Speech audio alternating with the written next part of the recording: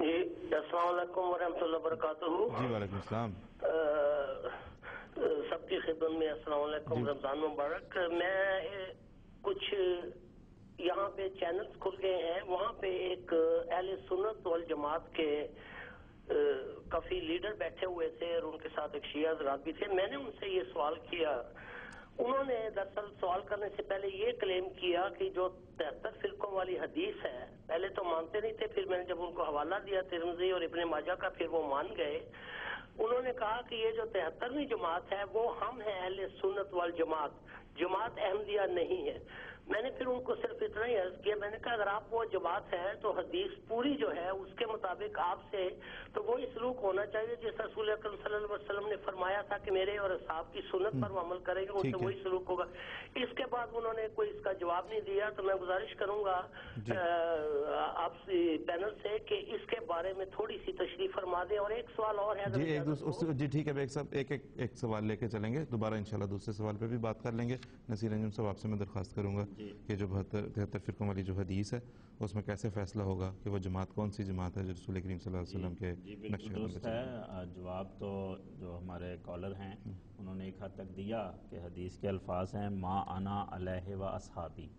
कि वो जो नाजी फ़िरका है उसकी शनाख्त ये होगी कि मैं और मेरे सहाबा के तरीक पर वो गामजन होंगे। तो अब ये फैसला तो बड़ा आसान है।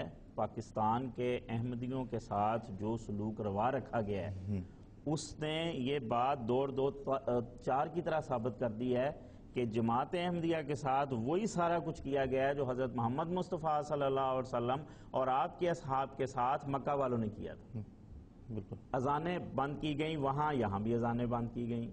मुसलमान कहना वरना जुर्म करार दिया गया यहाँ भी हमें मुसलमान कहना जुर्म करार दिया गया। और उनका बाइकाट किया गया सोशल तीन साल तक। शेब अभी तालब में उनको रहना पड़ा। जमात अहमदिया का सोशल बाइकाट किया गया चौहत्तर में और कई दफ़ा। तो इस्लाम के नाम पर मारे खाते थे, शहीद होते थे, जाने कुर्बान करते थे। आज अहमदियत के नाम पर जमात अहमदिया को जुल्म सितम का निशाना बनाया जाता है। कत्ल गारत का बाज़ार गर्म किया जाता है। और ये सारी कुर्बानियाँ हैं जो जमात अहमदिया दे रही है। तो बात तो निखर के सामने आ गई है। और इसके साथ एक और जो चौहत्तर की असम्बली का फैसला बहुत उसका आ, शोर है पाकिस्तान में। आजकल जो उठता है कि जनाब ये फैसला हो गया मान लेना चाहिए। हम समझते हैं कि ये जमात अहमदिया की सदाकत का एक निशान ज़ाहिर हुआ है। और इस हदीस के हवाले से अब देखें नबी पाक सल्लल्लाहु अलैहि वसल्लम ने इस हदीस में बहत्तर फिरकों को एक तरफ़ रखा है और एक फिरके का ज़िक्र अलग फरमाया है। तो बहत्तर जहाँ इकट्ठे होके एक को अलहदा करेंगे वही नाजी फिरका होगा। तो जब चौहत्तर की असम्बली में ये फैसला हुआ तो इस्लाम के तमाम फिरके वो इकट्ठे हो गए इस बात पर कि जमात अहमदिया गैर मुस्लिम है। अब फैसला नाजरीन ने करना है।